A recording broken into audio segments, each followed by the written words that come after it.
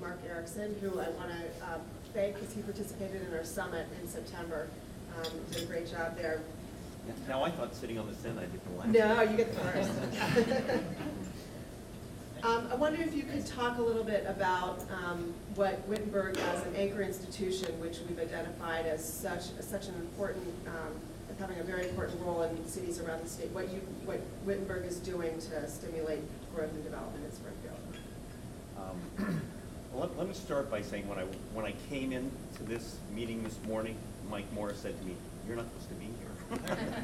So I wondered what that meant, and, and I realized I was supposed to be out of town traveling, so I'm a last minute addition to the panel, which means I have no prepared answers, so you're having off the top of my head what I'm thinking. Um, I, I- well, I, th- I think anybody here has heard me talk on numerous occasions that Wittenberg and Springfield are inextricably tied to one another.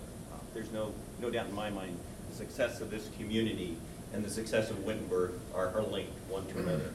We are here, and we will be here, we've been here 164 years, we'll be here another, another 164 years. So our goal is to leverage assets we have in partnership with this community to move us forward.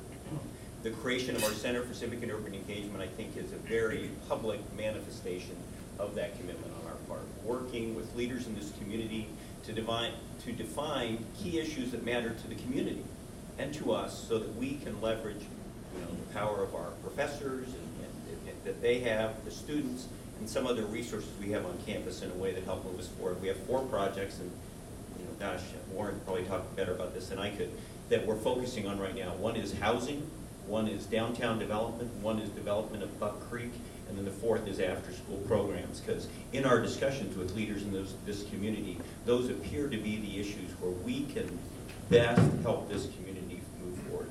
One of the initiatives I'm most excited about coming out of Greater Ohio is something called enterprise zones.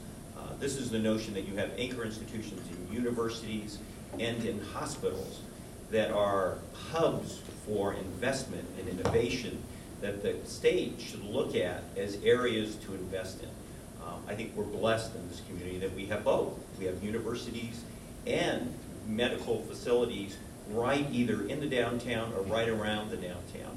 I came out of Pennsylvania, as you know, Lynn and I, came- when Lynn and I came here three and a half years ago, and we're part of a very successful program there called Keystone Innovation Zones. Um, Same idea, eds and meds, and investing in communities and areas that have those sorts of engines for economic development.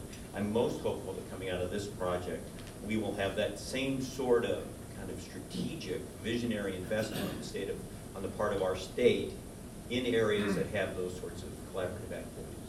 So, Great,